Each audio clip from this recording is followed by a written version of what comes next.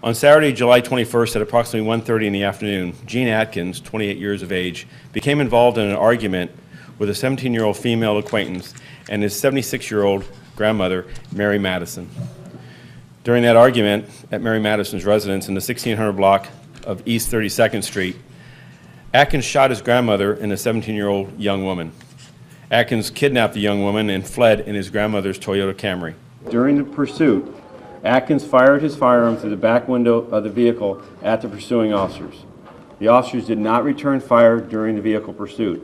After pursuing the suspect for approximately 15 minutes, Atkins' vehicle crashed into a light pole in front of the Trader Joe Market at the 2900 block of Hyperion Avenue in the Silver Lake District. Sadly, during this incident, 27-year-old Melyda Corado, the assistant manager of Silver Lake Trader Joe's, was struck by gunfire and died as a result of her injury. From our investigation, we have discerned that when Gene Atkins' vehicle crashed into the light pole located outside the entrance of Trader Joe, individuals inside the market ran towards the front door. One of those individuals was Miss Corado.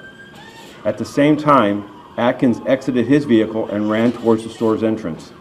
As he did so, witness statements and physical evidence from the scene support that Atkins fired multiple rounds from a semi-automatic pistol at the officers. So they had to make a split-second decision. And, and as they did that, uh, I'm here to say that that is the worst, worst decision that any officer ever wishes to have to make.